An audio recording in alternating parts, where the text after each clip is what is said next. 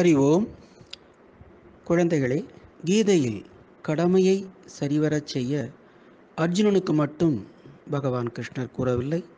நம் ஒவ்வொருவருக்கும் கூறுகிறார்.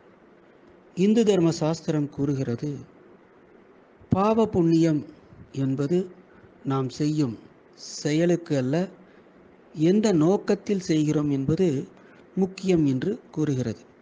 இதை விளக்குவதற்கு ஒரு உதாரணம்.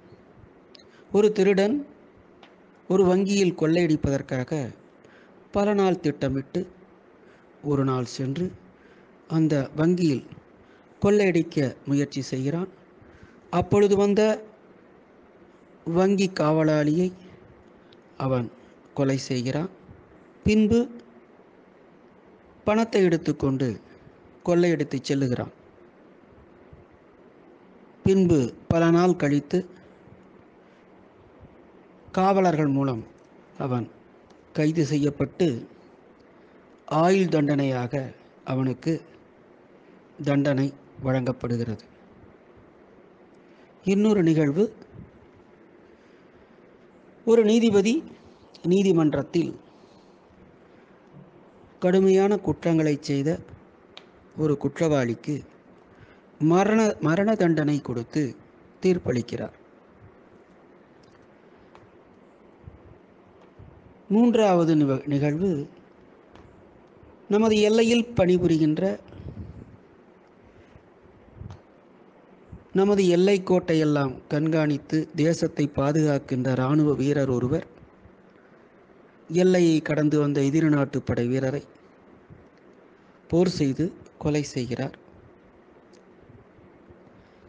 இந்த மூன்று நபர்களுக்குமே திருடனுக்கு ஆயுள் தண்டனை கிடைக்கின்றது. நீதிபதிக்கோ அரசு சம்பளம் கொடுக்கிறது. இராணுவ வீரருக்கு அவர் கொலை செய்ததை பாராட்டி ஜனாதிபதி பதக்கம் பரிசாக வழங்கப்படுகிறது.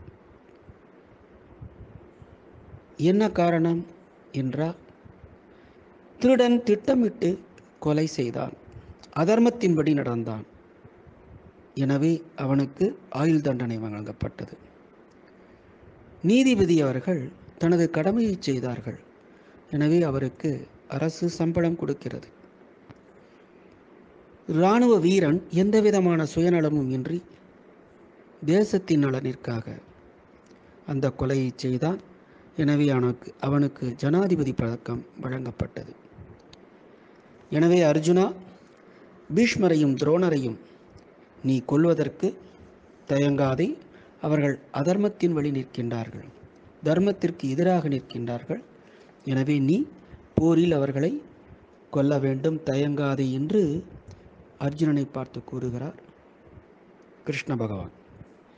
எனவே அப்படி இந்த காலத்திலும் கர்மயோகத்தை பின்பற்றி நேர்மையாக நல்ல காரியம் செய்த பல மாமனிதர்கள் வாழ்ந்து கொண்டு வருகிறார்கள்.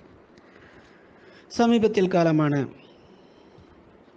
முன்னாள் ஜனாதிபதி அப்துல் கலாம் அவர்கள் ஜனாதிபதியாக இருந்த பொழுது அவரை சந்திக்க ராமேஸ்வரத்திலிருந்து அவரது உறவினர்கள் எல்லாம் இரண்டு பஸ்களில் வந்துவிட்டு சென்றார்கள். அவர்கள் சென்ற பின்னர் தனது அந்தரங்க செயலாளரிடம் அவர்கள் வந்து ஒரு வாரம் தங்கிய உணவுச் செலவு போக்குவரத்து செலவு ஆகிய கணக்குகளை எல்லாம் தனது சொந்த பணத்திலிருந்து எடுத்து கொடுத்து விட்டார் அதே போன்று ஜனாதிபதி அவர்கள் தனது பதவி காலம் முடிந்து வெளியே செல்லும் பொழுது எந்த இரண்டு சூட்கேஸுடன் உள்ளே வந்தாரோ அந்த சூட்கேஸுகளை மட்டுமே எடுத்துக்கொண்டு வெளியே சென்றார். தனக்கு பதவிக்காலத்தின் பொழுது அளிக்கப்பட்ட அனைத்து அன்பளிப்புகளையும் அரசுக்கே வழங்கிவிட்டு சென்று விட்டார்.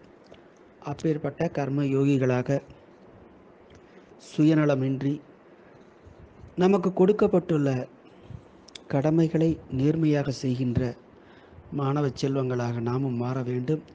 அதற்கு கீதை கீதையை வழிகாட்டியாக நாம் எடுத்துக்கொள்ள வேண்டும்.